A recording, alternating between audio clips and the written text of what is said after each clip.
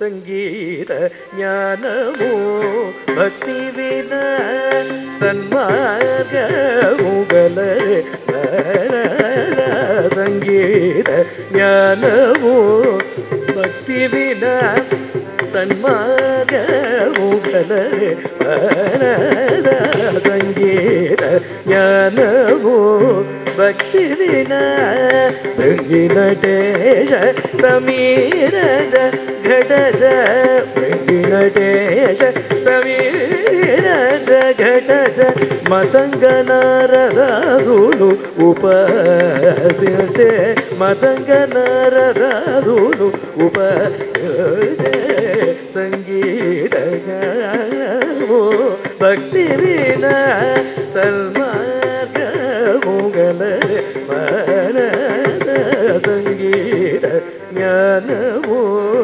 பக்தி வின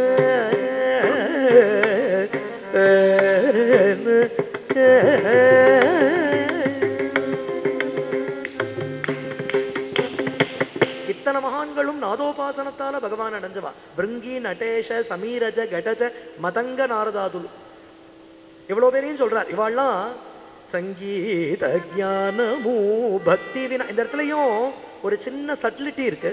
சங்கீத ஜானம் பக்தி இல்லாத சங்கீதத்தால என்ன பிரயோஜனம்னு ஒரு அர்த்தம்.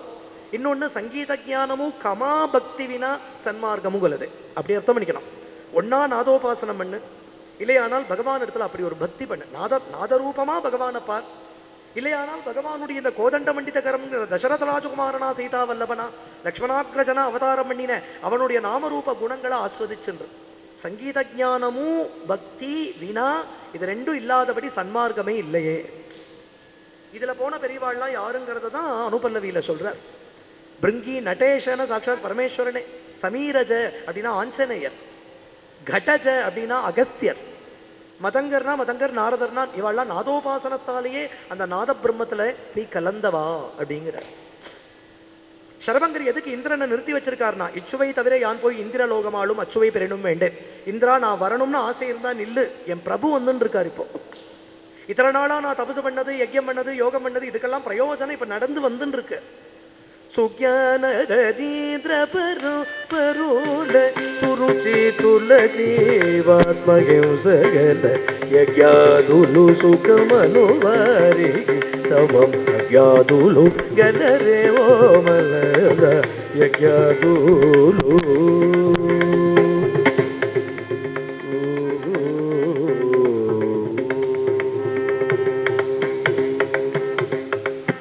யஜ்யமே பண்ணிட்டு அந்த யஜ்யத்துக்கு ஏதோ ஒரு புண்ணியம் கிடைக்கும் அதுக்கு ஒரு சொர்க்கத்துக்கு போகலாம் அப்படிங்கிற மட்டுமே யஜ்யத்தை பண்றவாளை விட அஜ்ஞானிகள் வேற யாருங்கிறார் தியாகராஜன். அன்னைக்கே பார்த்தோம் இந்த விஷயத்தை.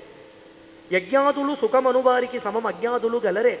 யஜ்யத்துக்கு பிரயோஜனம் சர்வேஸ்வரன் சந்தோஷப்படுறது தத்வாரா அவன் பக்தி ஞான வைராக்கியத்தை நமக்கு அனுகிரகம் பண்ணணும் தத்வாரா நம்ம மோட்சத்துக்கு போகணும்.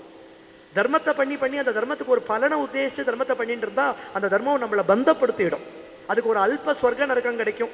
அந்த பாப்பத்துக்கும் புண்ணியத்துக்கும். திருப்பியும் பிறக்க வேண்டிய கர்மா இருக்கிறதுனால திருப்பியும் வந்து பிறப்போம் நம்ம. பண்ற தர்மங்களுக்கு பிரயோஜனம் எதுனா ஈஸ்வரன் அதுல சந்தோஷப்படணும். ஸ்வனுஷ்டிதஸ்ய தர்மசிய சம்சித்தி ஹரிதோஷணம் இப்ப இவ்வளவு நாள் இவர் பண்ணியிருக்கக்கூடிய இவருக்கு ரெண்டு பலன்கள் இருக்கு. ஒன்னு ஸ்வர்க்க பரியந்தம் போறதுக்கு உண்டான புண்ணியம் இன்னொன்னு பிரம்மலோக பரியந்தம் போறதுக்கு உண்டான தபஸ் பலன் இது எல்லாம் காத்துன்னு இருக்கு. இப்ப ராமர் வரார் ஆசிரமத்துக்கு வரார். சரபங்கர் என்ன பண்ணினார்னா ஒரு ஒரு அர்க்கியம் எடு ஒரு அர்க்கியம் விடுற ராமருடைய சரணத்துக்கு ஒரு அர்க்கியம் விடுறார். காயனவா தாமனசேந்திரியர்வா புத்தியாத்மனாவா பிரகிருதய ஸ்வபாவாத். இதுதான் தர்ம சூக்ஷ்மம். தர்ம சூக்ஷ்மம் எதுனா எதெல்லாம் பண்றியோ அதை பகவத் அர்ப்பணமா பண்ணிடும். அப்பதான் அந்த கர்மா நம்மளை பந்தப்படுத்தாது. இல்லைன்னா ஒரு புண்ணியமோ பாப்பமோ ரெண்டையும் அனுபவிக்கிறதுக்கு ஒரு தடவை திருப்பியும் பிறக்கிற மாதிரி ஆயிடும் எதையுமே நாராயணா ஏற்றி சமர்ப்பயாமின்னு பண்ணிவிட்டா அது கர்ம யோகமா ஆயிடும் இந்த சூக்மம் தெரிஞ்சவரா இருக்கிறதுனால ஸ்வர்க்க பரியந்தம் போகிறதுக்கு உண்டான எந்த புண்ணிய பலன் உண்டோ பிரம்மலோக பரியந்தம் போறதுக்கு உண்டான என்ன தபப்பலன் உண்டோ எல்லாத்தையும் ராமார்ப்பணம்னு ராகவாயேத்தி சமர்ப்பயாமின்னு இப்ப என்ன ஆயிடுதுன்னா எல்லாம் பிரபு கற்பிச்சுட்டதுனால இப்ப வைகுண்டம் போகிறதுக்கு யோக்கியமாயிட்டார் இவர். பிரம்மலோகத்தையும் தாண்டி மூல பிரகிருதிங்கிற மாயையையும் தாண்டி வைகுண்டம் கிளம்ப ராமர் முன்னாடியே இப்படி ஒரு பத்மாசனம் போட்டுட்டு உட்காந்து யோகதாரணையால தன்னுடைய சரீரத்தை அப்படி பஸ்மம் பண்ணிண்டு ஒரு ஜோதியா கிளம்பி அப்படியே அர்ச்சிராதி மார்க்கத்தில் போய் வைகுண்டம் போறார். ராமர் அப்படியே சாட்சியா பார்த்துட்டு கிளம்புறார். பின்னோட சரபங்கருடைய சிஷ்யாள்லாம் பின்னோட வரா. ஒரு ரிஷினா அவருக்கு பல சிஷ்யாள் இருப்பா. இவ்வளவு மகத்துக்களை சேவிக்கிறதுக்காக தானே ராமர் வந்திருக்கார். இவர்களுக்கு கைங்கரியம் பண்றதுதான் வனவாசத்தோட பிரதம பிரயோஜனமா முக்கிய பிரயோஜனமா ராமர் நினைக்கிறார். இந்த தபஸ்விகள்லாம் கொஞ்சம் சங்கோச்சப்பட்டு ராமர் பின்னோட வரா. ராமர் அப்படி திரும்பி திரும்பி பார்க்கறார் அவ வந்துட்டே இருக்கா தயங்கி தயங்கி வரா ஏதோ சொல்ல ஆசைப்படுறா. ராமரே அப்படி பார்த்து சொன்னார் பெரியவாள்லாம் என் பின்னாடியே வந்துருக்கேளே ஏதோ அடியேனால உங்களுக்கு ஆக வேண்டி இருந்ததுன்னா அடியே நான் அதுக்காக தான் வந்திருக்கேன். வனவாசமே உங்க கைங்கரியத்துக்காக தான். இப்படி சங்கோச்சப்பட வேண்டிய அவசியமே இல்லை. பெரியவா எதா இருந்தாலும் ஆக்கியம் பண்ணணும் அப்படிங்கிறார். அவள்லாம் நாதா அப்படின்னு கூப்பிடுறா. ராமரை ராமர் நடுங்கி போயிட்டார். ராமர் சொல்றார் நீங்க தான் எனக்கு நாதர்கள். என்ன நாதான் நீங்க கூப்பிடப்படாது என்ன நீங்க தாசன்னு கூப்பிடணும். தே தாசா அப்படின்னு கூப்பிடணும். உங்களுக்கு விதேயனா தானே உங்களுக்கு கைங்கரியம் பண்ண வந்திருக்கேன். அடியனை பார்த்து ஆக்ய பண்ணுங்கோ என்ன பண்ணணும்? அவ சொன்னா இங்க ஒரு நிமிஷம் வந்து பாரேன் அப்படின்னு கூட்டின்னு போய் ஒரு இடத்த காண்பிச்சா. அது என்ன? அப்படின்னுட்டா இங்க இருக்கக்கூடிய ஜனஸ்தானம்ங்கிற ஒரு இடம் இருக்கு. சூர்பனகையோட பல ராட்சசாலிங்க இருந்துட்டு இருக்கா. இது ராவணனோட ஒரு சென்டர் இது. ஒரு கேந்திரம். சூர்பனகையுடைய ஸ்தானம். பல பல ரிஷிகளுடைய நர மாம்சத்தை சாப்பிட்டுட்டு எலும்புகளை ராட்சசால் துப்பிட்டு போயிருக்கா. அவ பண்ண அட்டஹாஸ் அந்த எலும்புகள்லாம் அப்படியே சேர்ந்து சேர்ந்து ஒரு அஸ்திகிரியா இருக்கு அது பார்க்கறதுக்கு அங்க. ஏதோ சின்ன ஒரு ஸ்வேதகிரி மாதிரி இருந்தது. ராமர் கேட்டார் இது என்னது ஒரு சின்ன ஸ்வேதகிரியானா? ஸ்வேதகிரி இல்ல ராமா ஹஸ்திகிரி அப்படின்னா. இத்தனை ரிஷிகளுடைய மாம்சத்தை சாப்பிட்டுட்டு எலும்புகளை துப்பிட்டு போயிருக்கா. இந்த ராட்சசாலுடைய அட்டூழியம் எங்களால தாங்க முடியலையே. உடனே ராமர் ஒரு பிரதிஜை பண்ணினார். இங்க இருக்கிற ஜனஸ்தானத்தை விஜனஸ்தானமா பண்ணுவேன். இங்க இருக்கிற ராட்சசர்களை நிர்மூலம் பண்ணி உங்க தபசை ரட்சிப்பேன் கவலைப்படாதீங்கோ. அப்படின்னா ராமருடைய கோதண்டத்துல இருக்கிற மணி தானே டங்குன்னு அடிச்சது. ஒகமாட்ட ஒகபான ஒகதார வரதையுடைய ஒரு சொல் ஒரு வில் ஒரு இல். ஒரு வார்த்தை சொன்னா சொன்னதுதான். ఆడిన మాటలు తప్పడను. ఆడిన మాటలు తప్పడను. తును ఆడిన మాటలు తప్పడను.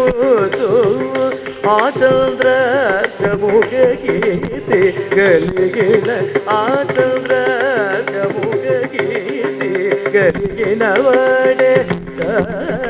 दैवमु मनस पाडे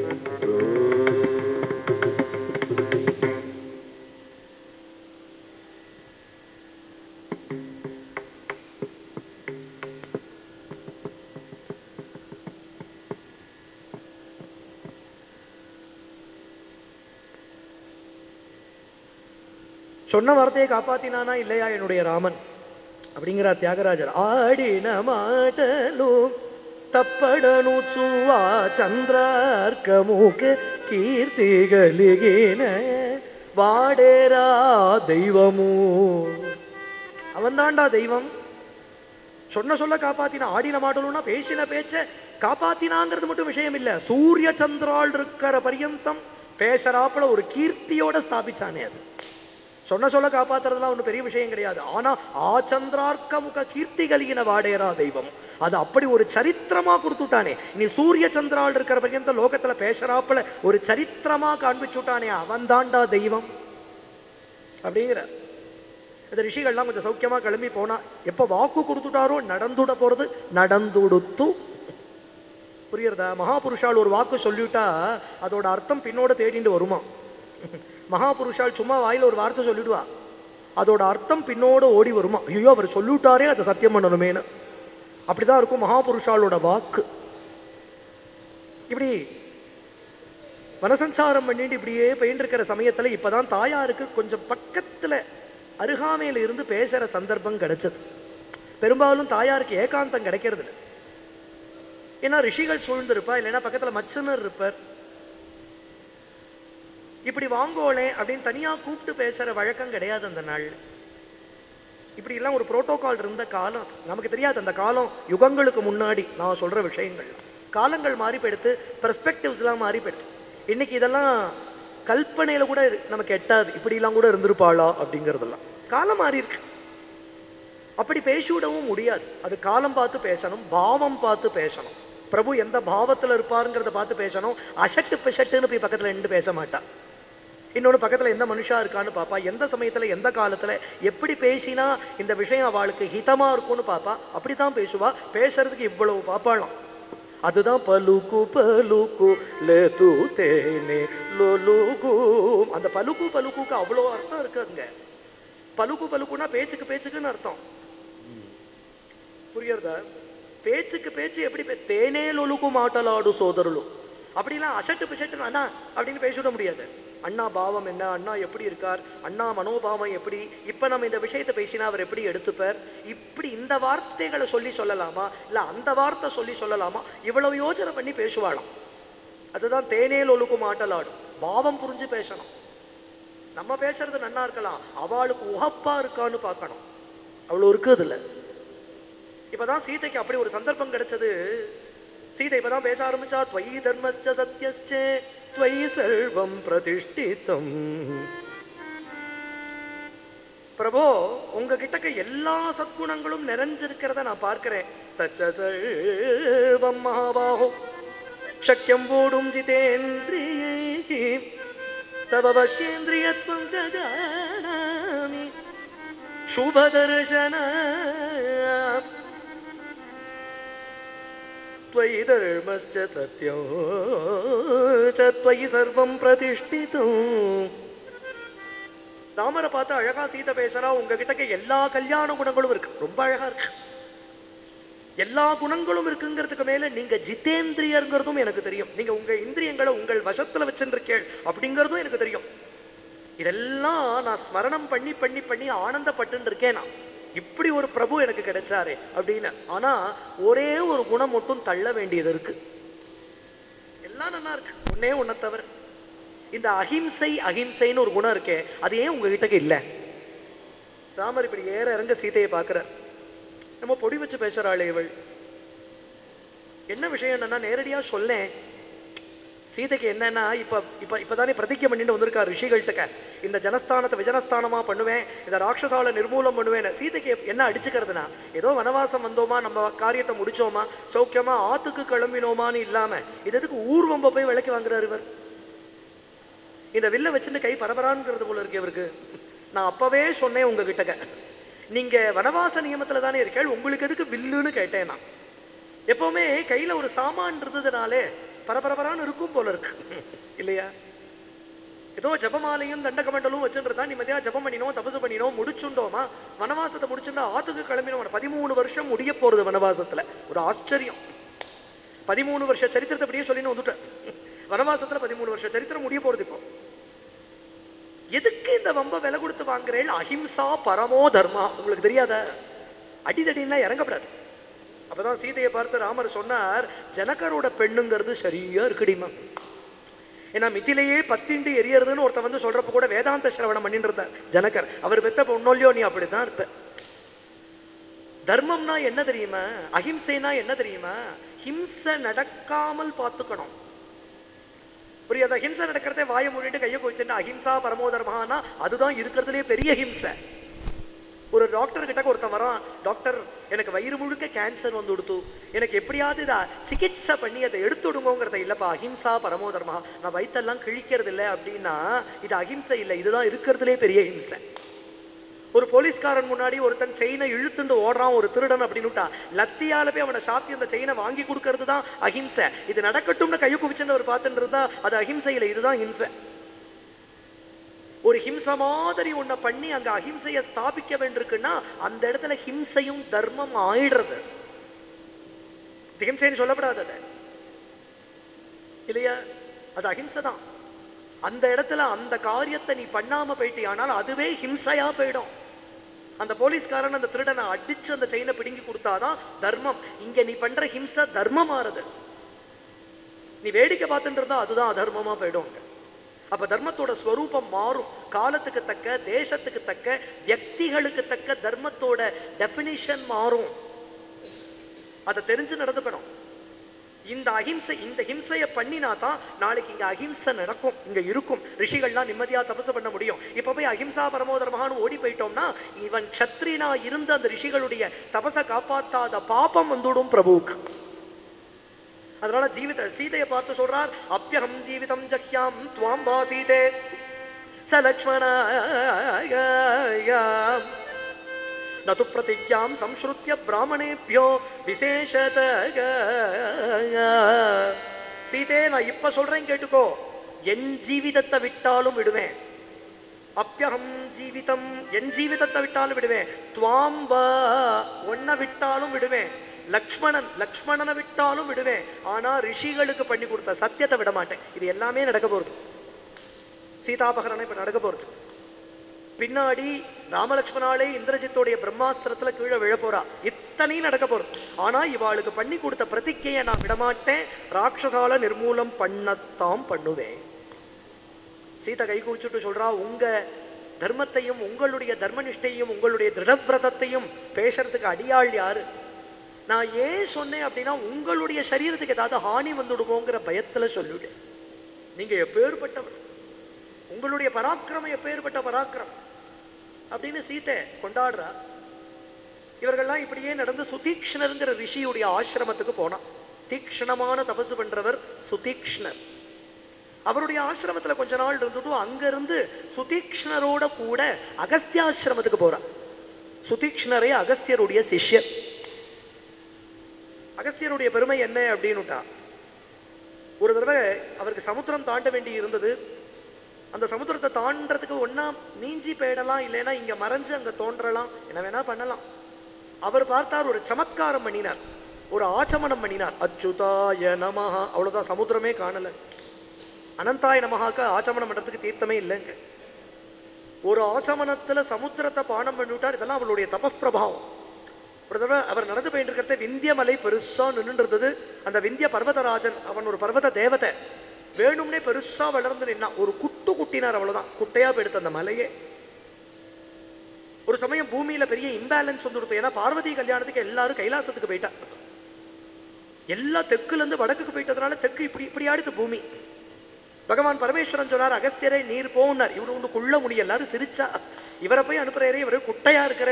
இவர் போனா பேலன்ஸ் ஆகுமான இவரை போக சொல்லுங்கோ அப்படின்னு. இவர் போய் அந்த தெற்கு முனையில நின்னார் பூமி பேலன்ஸ் ஆச்சு. அவர்தான் தமிழ் சங்கத்தை வளர்த்தார். தமிழ் மொழி விசேஷமா இன்னைக்கு இப்படி வளர்ந்துருக்குன்னா அகஸ்தியருடைய ஒரு கிருப்பை அவர் தான் அப்படி பிரச்சாரம் பண்ணியிருக்கார். அவர் எழுதின ஒரு வியாக்கரணமே இலக்கணமே இருக்கு தமிழுக்கு ரொம்ப ஆச்சரியமா. இப்படிலாம் அவருடைய பிரபாவத்தை சொல்லி மாளாச்சு. அப்படிப்பட்ட அகஸ்தியாசிரமத்துக்கு ராமர் இங்கே பிரவேசிக்கிறார். எல்லோரும் ஓடோடி வந்தான். அவாவா பண்ணியிருக்கிற தபசு அவாவா பண்ணிட்டு இருக்கிற ஜபம் அவாவா பண்ணிட்டு இருக்கிற ஹோமங்கள். ஏன்னா அந்த ஆசிரமம்னா அவ்வளோ ரிஷிகள் தபஸ் பண்ணிட்டு இருப்பா அகஸ்தியர் உள்பட அத்தனை பேரும் ஓடோடி வந்து ராமனை வந்தனம் பண்றா வந்தனமு ரகுநந்தன சேதுபந்தன பட்டச்சந்தன ராம வந்தனமு ரகுநந்தன.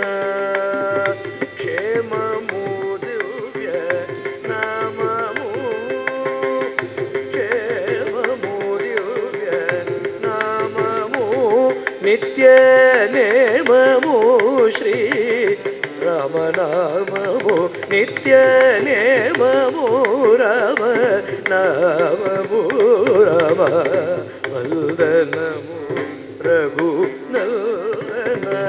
సేతు బందన భక్త చందన రామ బందన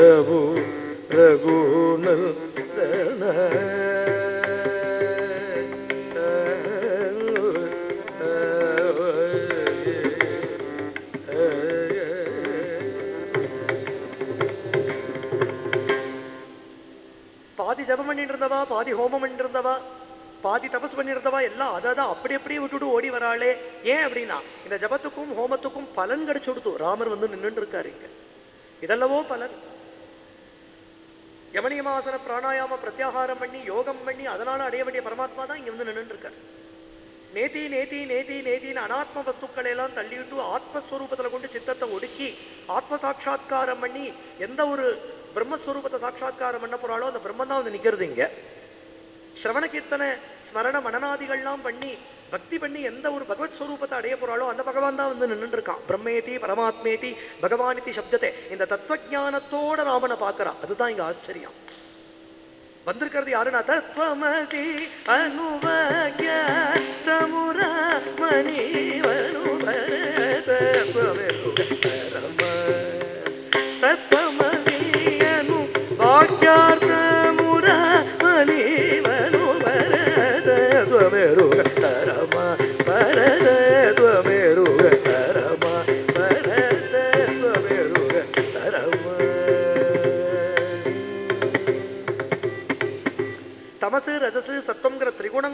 அப்பாற்பட்ட எந்த ஒரு சத் ஸ்வரூபம் பிரகாசிக்கிறதோ இது சச்சிதானந்தமா பிரகாசிக்கிறதோ இது தத்துவமசிங்கிற மகா வாக்கியத்தால எந்த ஒரு பிரம்மஸ்வரூபம் பிரதிபாதிக்கப்படுறதோ அதுதான் ராமனா வந்து அவதாரம் பண்ணியிருக்கு. இந்த தத்துவத்தை தெரிஞ்சுக்கிறது சாமான்யமா அப்படிங்கிற. தியாகராஜர் சொல்றார் ஹரியட்ட சுருடட நருடட అఖిలాండ కోడులట అందరిలలో பரமாத்முடு எத்தனை கீர்த்தனங்கள் ராம தத்துவத்தை சொல்ற கீர்த்தனங்கள் சண்டமர் தாண்ட மண்டல சண்டமர் தாண்ட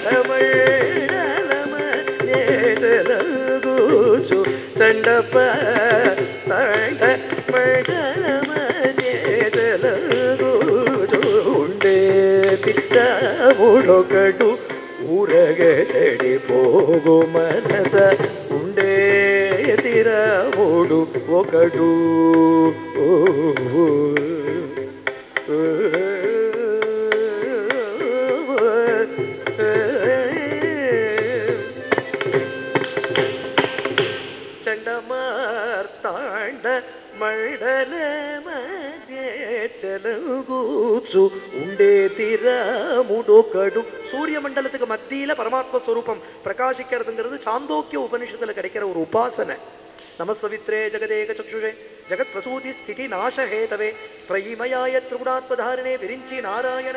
ಶಂಕರಾತ್ಮನೆ ಧ್ಯೇಯ ಸದಾ ಸವಿತೃಮಂಡಲ ಮಧ್ಯವರ್ತಿ ನಾರಾಯಣ ಸರಸಿಜಾಸನ ಸನ್ನಿವಿಷ್ಟ. ಕೇಯೂರವಾನ್ ಮಕರಗುಂಡಲವಾನ್ ಕಿರೀಟಿ ಹಾರಿ. ಹಿರಣ್ಮಯ ವಪು ಧೃತ ಶಂಖಚಕ್ರ. ಅಟೇನು ಉಪಾಸನ ಸಂಧ್ಯಾವಂದನತ್ತಲೆ ನೆನಪ್ಪಡಿ ಇದು ಚಾಂದೋಕ್ಯ ಉಪನಿಷತ್ಲ ಬರದು. சூரிய மண்டலத்துக்கு மத்தியில அந்த பரமாத்மா எப்படி பிரகாசிக்கிறார்? தினமணி மழல மழல பவகடன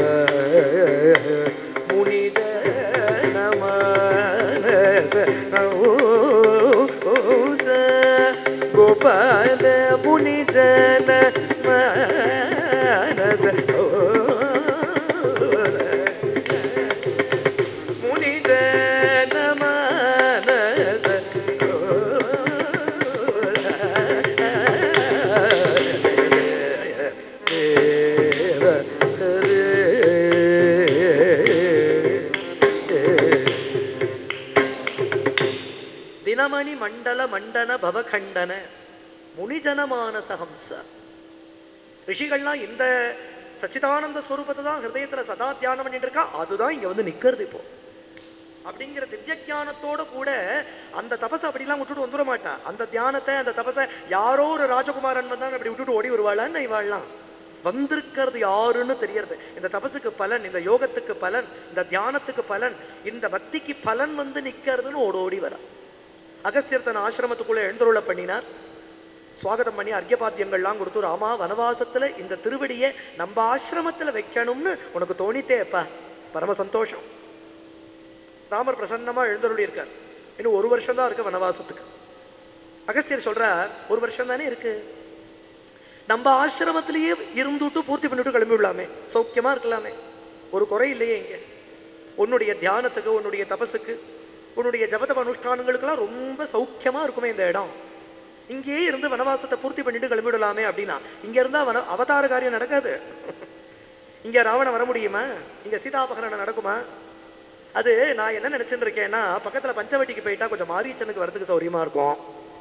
அப்புறம் ராவணன் வந்து தூக்கிட்டு போறதுக்கு சௌரியமா இருக்கும். நாசித்தை அப்படி மரம் மர மரமரமா கட்டினா அழறதுக்கு சௌரியமா இருக்கும். இப்படின்னு அஷடு மாதிரி சொல்லுவாளா யாராவது? மகாபுருஷாளுடைய ஹிருதயத்தை மகாபுருஷால் புரிஞ்சுப்பா. பேசணுங்கிற அவசியமே கிடையாது. பேச்சுங்கிறதே லொட லொட தான் பேச்சுக்கு என்ன அவசியம் இருக்கு? வந்தியா சாப்பிட்டியா போனியா தூங்கினியா என்ன பண்ற? உங்களை என்ன பண்ணா? அவ ஃபாரின்ல இருக்காளே இவ வந்தாளா? உங்காத்துக்கு உனக்கு என்ன சம்பளம்? உனக்கு இது கிரெடிட் ஆயிடுச்சா? நீ பார்க்குக்கு போயிட்டு வந்தியா? பீச்சுக்கு போயிட்டு வந்தியா? கால் கை கால் உடச்சிருந்தியா? கை உடச்சிருந்தியா? என்ன மருந்து சாப்பிட்ட? என்ன பண்ணினேன் இப்படியே ஒரு வழ வழ வழன்னு ஒரு ஒரு ஒரு அர்த்தம் கிடையாது. ஒரு அர்த்தம் கிடையாது. மௌனத்துல இருக்கிற நிம்மதி வேற எதுலயும் கிடையாது. ஆனா அந்த நிம்மதியை அனுபவிக்க தெரியணும். ஒரு சில பேர் மௌனமா இருந்தா ரொம்ப சிரமப்பட்டு இருப்பா. அதை சொல்லலை நான் மௌனமா இருப்பான்னு பேரே தவிர கையும் காலையும் அசைச்சு கடைசியில் அதுக்கு பேசாமல் இப்போ பேசி விட்டா தேவையில்லைன்னு தோணி போயிடும் ஏன்னா மௌனம் மௌனமா இருக்கிறதுனால சைகை பண்ணுவாளே பார்க்கணும். அதுக்கு பேசுறதே தேவையில்லை. மௌனம்ங்கிறது வாயுடைய மௌனம் இல்ல ஹிருதயத்தோட மௌனம். சாந்தமூலேக சௌக்கியமுலே தூ அந்த சாந்தம். அந்த சாந்தம் இருந்ததுன்னா சுத்தி அவ்வளவு நாய்ஸ் இருந்தாலும் தெரியாது. ஆயிரம் நாய்ஸ் இருக்கலாம். ஹிருதயத்துல ஒரு அமைதி இருக்கிறவனுக்கு சுத்தி என்ன நடக்கிறதுனே தெரியாது. அவன் ரொம்ப ஒரு அது அந்த ஒரு உள்ள இருக்கக்கூடிய அந்த ஒரு ஆனந்தத்துல அப்படியே அமுங்கி போயிருப்பான். அந்த ஸ்டில்னஸ் இருக்கும். மைண்டோட ஸ்டில்னஸ்ல அந்த ஒரு பீஸ்ல இருக்கிற ஒரு அமைதி அப்புறம் சுத்தி என்ன இருக்கு என்ன இல்லை he'll be not bothered at all அது வேற அந்த சாந்தத்தை அனுபவிக்க தெரியணும் மனசுன்னு ஒன்று ஒரு நாய்ஸை கிளப்பிண்டே இருக்கேன். அந்த நாய்ஸ் இருக்கிற வரைக்கும் உலகத்துல எல்லாம் தெரியும். அந்த சாந்தத்தை அனுபவிக்க தெரியும். ஏன் ராமர் இரு- இருக்கலாமே இங்க. சௌக்கியமா இருக்கலாம். ஒன்றும் ஒன்றும் ஒரு குறைச்சலும் இல்லையே ஆனா அகஸ்தியர் இப்படி சொன்னதுக்கு ராமர் பதிலே சொல்லலை. பேசாம இப்படி நின்றுருக்கேன் அது வந்து உண்டுன்னு எடுத்துக்க எடுத்துக்க முடியாது இல்லைன்னு எடுத்துக்க முடியாது. அதுக்கு தான் இன்டிஃபரன்ஸ்னு பேர். அதை உண்டுன்னு எடுத்துக்கிறதா இல்லைன்னு எடுத்துக்கிறதானே தெரியாது. அவர் பேசாம இப்படி இருக்கார். இது எப்படி எடுத்துப்பேன் அகஸ்தியர் பார்த்தார் இதுல ஏதோ விஷயம் இருக்குன்னு புரிஞ்சுட்டார் இதுதான் மகாபுருஷாளுடைய காண்டக்ட் அப்படி இருக்கும் அது. நீங்க என்ன நினைக்கிறேன் ஒண்ணுமே சொல்ல மாட்டேங்கிறாளே அப்படின்னு அசடு மாதிரி கேட்க மாட்டார்.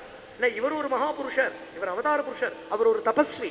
பகவானுடைய ஹிருதயத்தை புரிஞ்சுக்கிற சாமர்த்தியம் உண்டு வாழுக்கெல்லாம் அகஸ்தியர் பார்த்தார் என்னவோ ஒன்று இருக்கு அதை நம்ம தெரிஞ்சுப்போம் அப்படின்னு ராமரை பார்த்து சொன்னார் விஷ்ணுவுடைய ஆயத்தனம் இங்க இருக்கு. ரொம்ப என்ன ஒரு ஆச்சரியம் பாருங்க வந்திருக்கிறது விஷ்ணுன்னு தெரியறது அவருக்கு.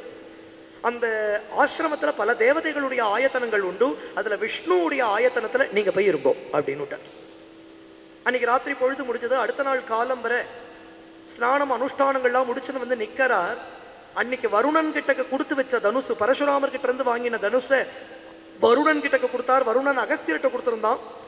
அகஸ்தியர் அதை இப்ப ராமர்கிட்ட கொடுக்கிறார். அந்த விஷ்ணு தனுசு எடுக்க எடுக்க அம்புகள் வரக்கூடிய அக்ஷயமான தூணீரம் அபேத்திய கவச்சம்னு ஒரு கவச்சம். அபேத்திய கவச்சம்னா அது அவ்வளவு சுலபமா பொழந்துட முடியாது. அவ்வளவு பெரிய கவச்சம். இதெல்லாம் ராமருக்கு அகஸ்தியர் கொடுத்தார். இனிமேல் ரா- ஏன்னா இப்ப ஏன் கொடுக்கிறாருன்னா இனிமேல் தான் பத காரியம் ஆரம்பிக்க போறது. இனி கரதூஷ நாள்ல இருந்து ஆரம்பிக்க போறது. காரியம் அவதார காரியம் ஆரம்பிக்க போறதுங்கிறதுனால கரெக்டா இந்த சமயத்துல அகஸ்தியர் கொடுக்கிறார். கொடுத்துட்டு அகஸ்தியர் சொல்றார் பக்கத்துல பஞ்சவட்டிங்கிற ஒரு இடம் இருக்கு. கோதாவரி நதி தீரம் அழகான அஞ்சு ஆலமரங்கள். அடர்ந்து ரொம்ப ஆச்சரியமா அந்த இடத்துல ரம்யமா சுசோபிதமா இருக்கு. அங்க போய் ஒரு பர்ணாசாலை அமைச்சிருந்து சௌக்கியமா இருக்கலாம். வனவாசத்தை அங்க போய் முடிச்சுட்டு கிளம்பலாம் அப்படின்னு விட்டார் அதுக்கு மேல ஒரு வார்த்தை பேசல. அங்க ஒரே ஒரு வார்த்தை சொல்றார் அகஸ்தியர் உன்னோட ஹிருதயத்தை புரிஞ்சுண்டேன். அவ்வளவுதான். அது என்ன அர்த்தம்? அதுக்கு என்ன அர்த்தம் பண்ணிக்கணுமோ? அது ராமருக்கு தான் புரியும் அது அகஸ்தியருக்கு தான் புரியும். மகாபுருஷால் எப்படி பேசிக்கிறார்? அது- எவ்வளோ எவ்வளவு அழகா இருக்கு பத்தேல. அது தெரிஞ்சுட்டேன் நீங்க அங்க போனாதான் மாரீச்சம் வருவா இல்லையா அப்படின்னு அசடு மாதிரி இவரும் சொல்லல. உன் ஹிருதயம் என்னங்கிறத புரிஞ்சுனுட்டேன் ஒரே வார்த்தை முடிஞ்சு கொடுத்தாங்க. உடனே எங்க ராமர் கிளம்பினார். பஞ்சவட்டிக்குள்ள பிரவேசிக்கிறதே ஜட்டாயு. இப்படி பாக்குறாரு ஜட்டாயு. யாரு தசரதம் பிள்ளையா? ஜட்டாயும் தசரதரும் ஃப்ரெண்ட்ஸ் சூரிய ரத சாரதி அருணனுடைய பிள்ளை ஜட்டாயு சம்பாதி அண்ணா தம்பிகள் ரெண்டு பேருமே. ஒரு சமயம் ஜட்டாயும் சம்பாதியும் ரெக்க கட்டின் ரெக்க அடிச்சுட்டு பறந்தா சூரிய மண்டலத்தை நோக்கி. ஏன்னா அப்பாவோட ஆஃபீஸ் சொல்லியும் எப்பவுமே குழந்தைகளுக்கு அப்பாவோட ஆஃபீஸில் போய் அப்பாவை பார்க்கணும்னு ரொம்ப ஆசையாக இருக்கும். சூரிய சாரதியோலியோ அருணன் அருணன் அருணனை சூரிய ரத சாரதியா பார்க்கணும்னு சூரிய மண்டலத்தை நோக்கி இவா ரெண்டு பேரும் பறக்கிறதே ஜட்டாயுடைய ரெக்கைகள் பத்தின் கொடுத்தும் சூரிய வெப்பத்தான் சம்பாதிய அண்ணா அவர் போய் ஜட்டாயுவை அணைச்சுண்டார் இப்படி. சம்பாதி ரெக்க பிடிச்சுண்டு அப்போ அப்ப மூர்ச்சையாயி ஜட்டாயு இங்க பஞ்சவட்டியிலையும் சம்பாதி சமுத்திர தீரத்திலையும் விழுந்தா அன்னிலிருந்து ஒருத்தர் ஒருத்தர் பாத்துக்கல ஆனா இப்ப ரெண்டு பேரும் ராமகைங்கரியம் பண்ண போறா. கிஷ்கிந்தா காண்டத்துல சம்பாதி சொல்லிதான் சீதா மாதா இங்க நூறு யோஜன விஸ்தீர்ணமான சாகரத்தை தாண்டி லங்கையில அசோகவனத்துல சிம்சபா விருட்சத்தின் அடியில இருக்காங்கிறது சம்பாதி சொல்லிதான் இவாளுக்கெல்லாம் தெரிய போறது. அங்க ஒரு ராமகைங்கரியம். இங்க ஜட்டாயு சொல்றார் கவலையே படாத ரேமா ராமா நீங்க பர்ணசாலை அமைச்சிருந்த சௌக்கியமா இருக்கலாம். சீதைக்கு காவலா நான் இருப்பேன் அப்படிங்கிறார். அழகான பர்ணசாலை லக்ஷ்மண சுவாமி அமைக்கிறார். கோதாவரி நதி தீரத்துல அதுதான் நாசிக்குன்னு பேர் இன்னைக்கு. சூர்பனக்கையுடைய நாசிய அருந்து விழுந்த இடமா இருக்கிறதுனால நாசிக்குன்னு பேர். லக்ஷ்மண சுவாமியுடைய கைங்கரியத்தை பார்த்து அப்படியே வாரி கட்டிண்டு விட்டார் ராமர். அப்பா இல்லைங்கிறது உனக்கு தான் எனக்கு அப்பா இல்லாமே இல்லை. ஒன் ரூபத்துல அப்பா இருக்கா எனக்கு? ஒன் ரூபத்துல இருக்கா? அப்பா மாதிரி என்னை பார்த்துக்கிறேடா லக்ஷ்மணா. இப்படிதானே கைங்கரியம் பண்ணணும். பாவஜேன கிருதஜேன தர்மஜேன ச லக்ஷ்மணா. உன்னுடைய கைங்கரியத்துல பாவம் இருக்கு தர்மம் இருக்கு அதுல ஒரு அழகு இருக்கு. இப்படி கைங்கரியம் பண்றியேடா. இப்படி பார்த்து பார்த்து கைங்கரியம் பண்றியேன்னு கட்டின்றார் பஞ்சவட்டியில சௌக்கியமா வாசம் பண்ணிட்டு இருக்கிற சமயம் என்ன ஆச்சு அப்படின்னா அங்க ஹேமந்த ருத்து வந்துருக்கு. ஹேமந்தே பிரதமே மாசே நந்தவிரஜகுமாரிக்காக நல்ல பனிக்காலம். அந்த பனிக்காலத்துல பிராத ஸ்நானம் பண்ணுவார் ராமர் லக்ஷ்மண சுவாமி அதுக்குள்ள ஸ்நானங்கள்லாம் பண்ணிட்டு மடிவஸ்திரங்கள்லாம் அண்ணாமண்ணியோட எடுத்து வச்சுன்னு உட்கார்ந்துருப்பார். லக்ஷ்மண சுவாமி வனவாசத்துல ஒரு நிமிஷம் கண் கொட்டல. அன்னைக்கு பிராத ஸ்நானத்துக்கு கிளம்பி வரார் ராமர்.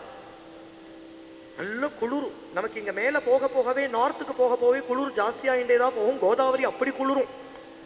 ரங்கேஷமாம் பாகி ரங்கேஷமாம் பாகி ரங்கேஷமாம் பாகி. ரங்க பிரபு குலதெய்வம் ரங்கநாதனாச்சே. காலம்பர ரங்கநாத ஸ்மரணம் பண்ணிட்டே தான் ராமர் வருவராம். பின்னோட சீத்தை அனுஸ்வரமா பாடிட்டு அப்படி வருவலாம். இவா ரெண்டு பேருமா இப்படியே ஹேமந்த் ருத்து இல்லையா? கோதாவரி நதியை நோக்கி போறா. ஸ்நானம் பண்றதுக்கு லக்ஷ்மண சுவாமி ஒரு தீப்பந்தத்தை கொளுத்திட்டு முன்னோட போறார். ஏன்னா இருட்டாச்சே. பிரம்ம முகூர்த்தத்துல ஸ்நானம் பண்ணணும்.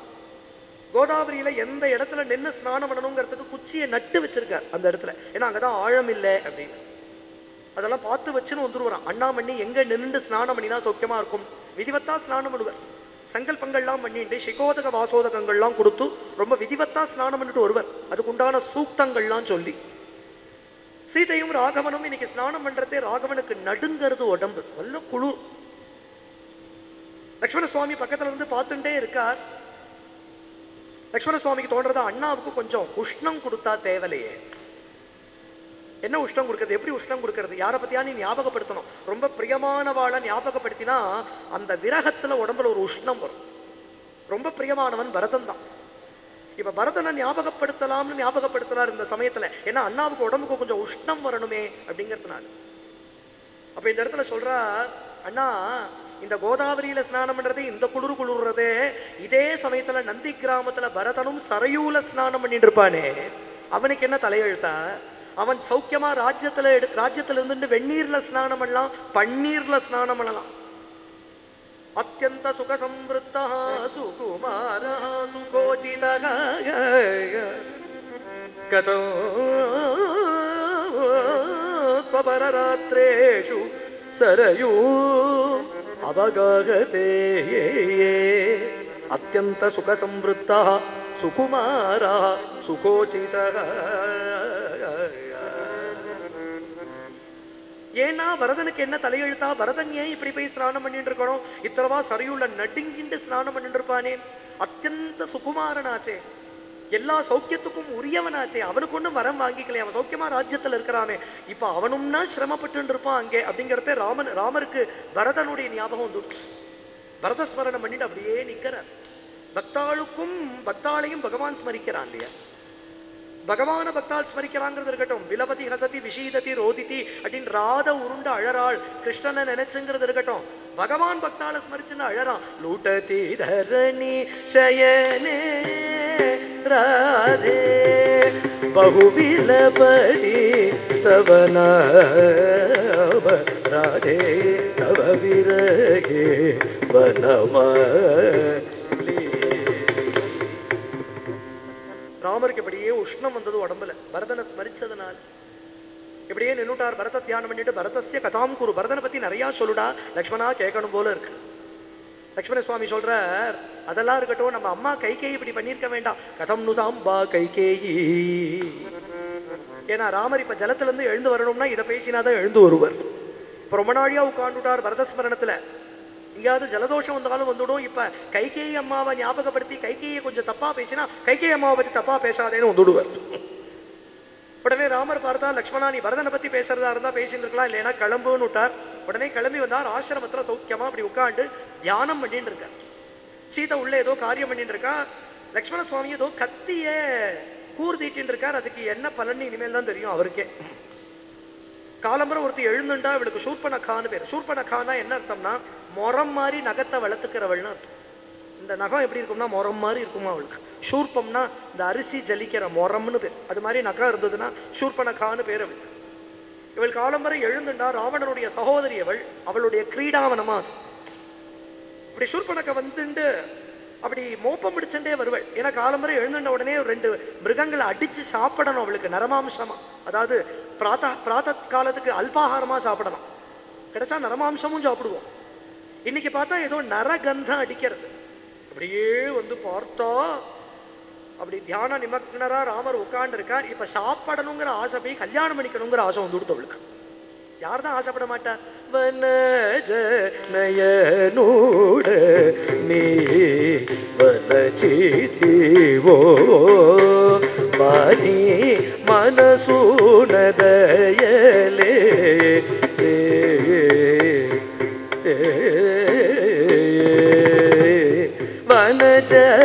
வனஜனயனூட நீ வனச்சிதிவோ ஓ வாணி மனசூனதயலே